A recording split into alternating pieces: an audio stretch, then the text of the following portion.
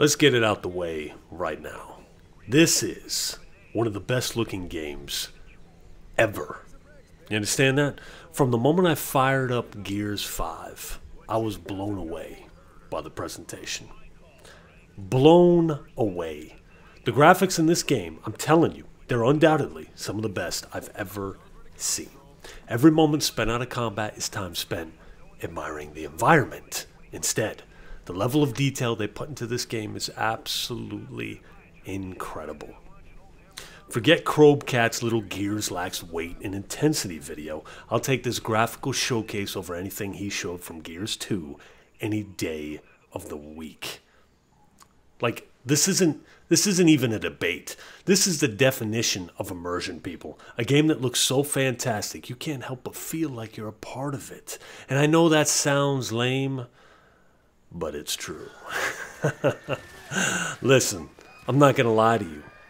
I was very skeptical of this game. Very skeptical. Mainly because of the fact Kate takes lead in one of the most testosterone fueled gaming franchises ever. She's pretty much the face of Gears now. And with it being 2019 and everything is being the way that it is, I pretty much had my mind set on how this game was going to be. So I figured I'll Game Pass it and I'll be done with it. Well, ladies and gentlemen, I was pleasantly surprised by the outcome. Not only is this a good Gears game, dare I say it's one of the best in the franchise. If not, and you know it's already coming, if not the best. It's that good, I shit you not. Let's talk about the story right quick, and I'm not going to discuss spoilers, plot details. I just want to touch up on the fact that the story is really, really good this go round. Like, really good. It's like they actually hired some good writers. Not only was I sucked into this massive, beautifully crafted world, but I was also very invested. For the first time ever in a Gears game, I was very invested in the story. This hasn't happened with a Gears game, people. The voice acting was not near as corny as past Gears titles, because let's be honest, Gears has always been a bit corny in the story department. But this one goes in a much more serious direction. Kate doesn't come off like this badass I am woman hear me roar feminazi character. Instead, she seems like a battle worn soldier that's drained emotionally and all the while trying to stay strong for the fight ahead. I actually, dare I say it, liked Kate. I didn't mind playing as her at all. She felt like one of the boys. And Marcus, even though he wasn't playable, it still felt good to see the old boy in action. The story actually ties into past Gears games, and it does so pretty damn brilliantly. I was very impressed with the story. Act 1 is super intense and definitely one of the highlights of the game for me. And get this, nobody annoyed me either. There's always that one annoying character that you can't stand. It's like you just want to fast forward the cutscene because of that character. I didn't have one in this game. I didn't feel that way about anybody except maybe, maybe the Prime Minister lady. Gameplay because that is one of the most important factors in a game. The gameplay is so seamless, people, I can't believe how smooth everything feels. This is one optimized game on PC too. I'm running high settings, 1080p, 120 FPS. Absolute gaming perfection. And I use a keyboard and mouse. This is the first Gears game I ever completed using a keyboard and mouse. So not only is this one of the most stunning looking games I've ever played, it's also one of the best feeling. I absolutely love the feel of this game. I've I've always enjoyed Gears combat. Matter of fact, I've always loved it, especially the brutality of it.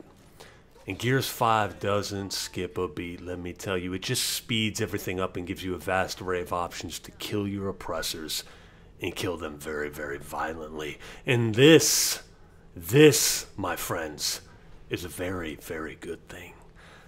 Jack actually takes the stage, Mr. Robot this go around, giving you all kinds of abilities he didn't have in previous titles. Need a gun across the map? Hey Jack, go get it. Need a heavy weapon across the map? Hey Jack, go get it. Need to be cloaked so you can sneak up on your enemies and smash them over the head with something or shoot them at point blank range with a Gnasher? Hey Jack, cloak me. Jack can also give you health boost, flash your enemies, hijack enemy robots, give you a damn force field for crying out loud, highlight enemies, suck your dick. Okay. he can't do that. he may as well be able to with all the shit that he can do. I apologize for that.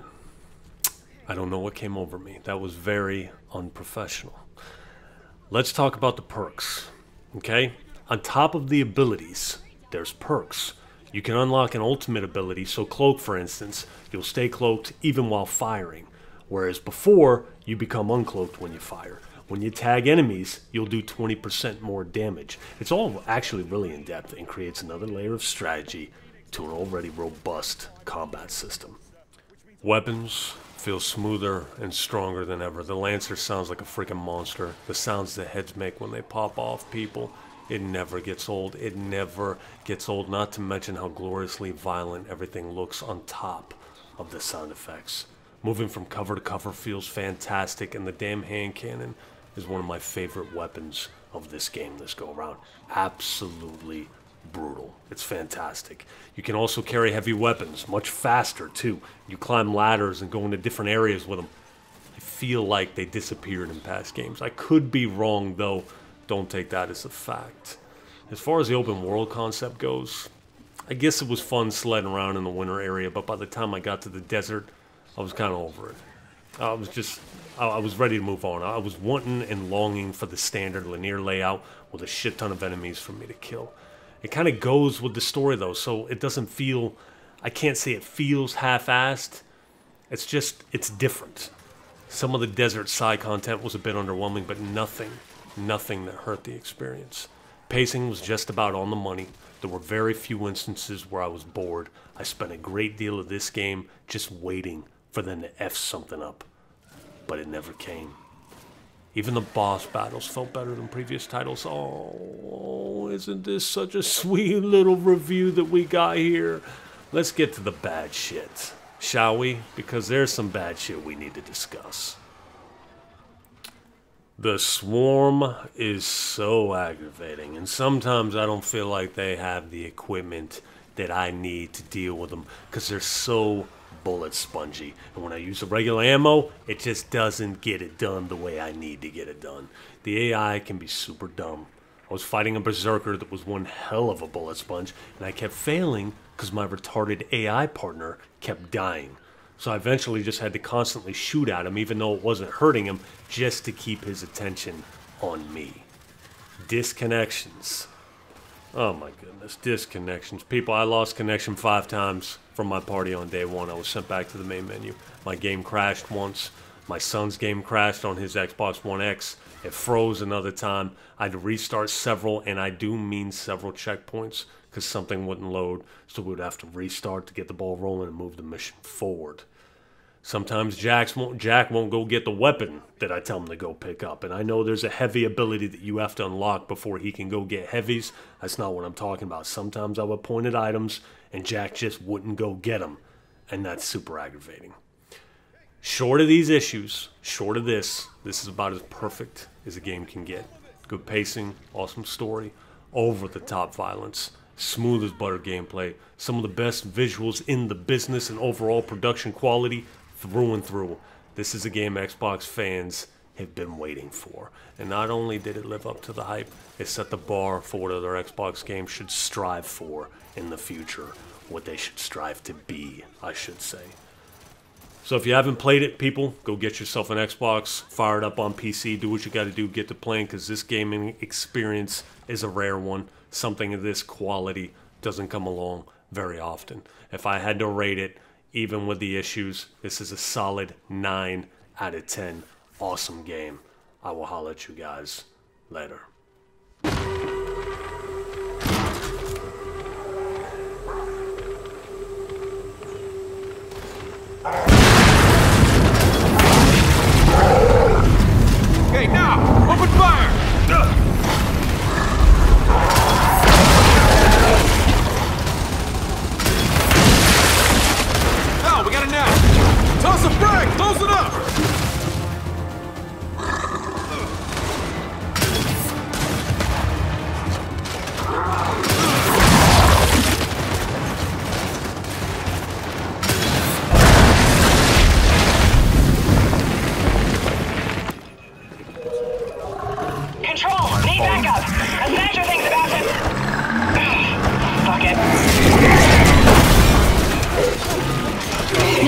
Control. I took care of it. DBs, we gotta secure this street. Badass chick, huh? Listen! Oh, man! That was awesome.